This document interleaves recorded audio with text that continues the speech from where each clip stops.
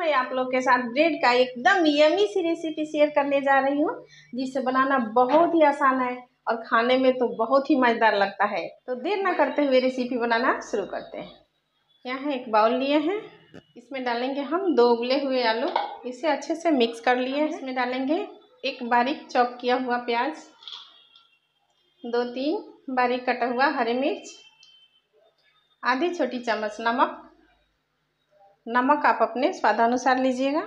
एक तिहाई छोटी चम्मच हल्दी पाउडर, आधी छोटी चम्मच कश्मीरी लाल मिर्च इसे तीखा नहीं होता है, और एक तिहाई छोटी चम्मच मिर्ची पाउडर, एक तिहाई छोटा चम्मच धनिया पाउडर, आधी छोटी चम्मच भुना हुआ जीरा पाउडर, एक चौथाई छोटी चम्मच काली मिर्च पाउडर, आधी छोटी चम्मच गरम मसाला, और थोड़ी सी हरा धनिया, आधी नींबू का रस यदि आपके पास नींबू नहीं है तो आप चाट मसाला की भी यूज़ कर सकते हैं।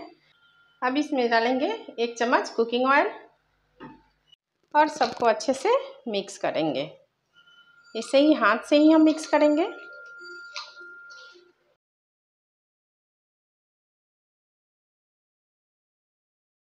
देखिए, मिक्स करने के बाद एकदम बिल्कुल डो की तरह हो गया। यहाँ हम आठ ब्रेड लिए हैं। आप कोई भी ब्रेड यूज़ कर सकते हैं। हम यहाँ वाइट ब्रेड लिए हैं। आप ब्राउन का भी यूज़ कर सकते हैं। एक ब्रेड लेंगे और किसी कटोरी से ऐसे गोल घुमा के कट कर देंगे। बचे हुए ब्रेड को हम ब्रेड क्रम्स में यूज़ कर लेंगे। आसानी से कट जाता है।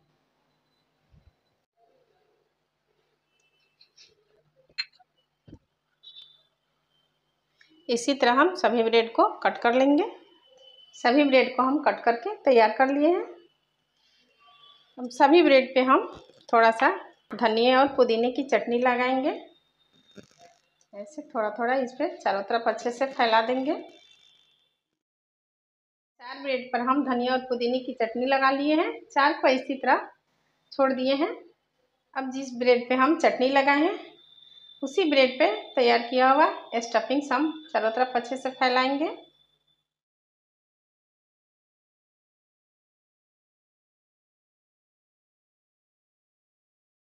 लग के तैयार हो चुका। बाकी बचे हुए ब्रेड पर हम टमाटो सॉस लगाएँगे।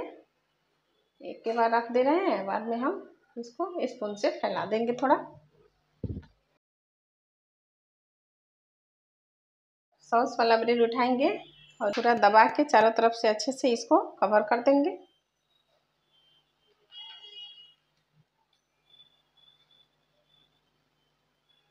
सभी ब्रेड को एक दूसरे से कवर कर दिए हैं। देखिए, गैस पे हम कढ़ाई रख दी है, इसमें तेल डाल दी है।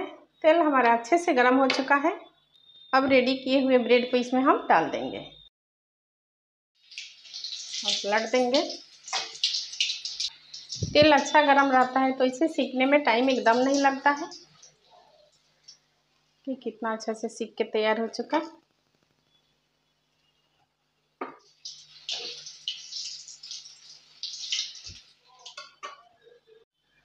तो चलिए फटाफट इसे सर्व कर लेते हैं। तो ये लीजिए, हमारा ब्रेड का यमी सी नाश्ता बन के तैयार हो चुका। वाव लग रहा है ना मज़ेदार। देख करके ही मुँह में पानी आ जा रहा है।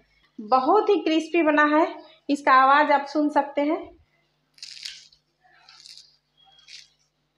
देख रहे हैं? यदि आप लोगों को हमारे वीडियो पसंद आए तो आप इसे लाइक करें शेयर करें। जो लोग हमारे चैनल पर नए हैं वे प्लीज़ सब्सक्राइब करें।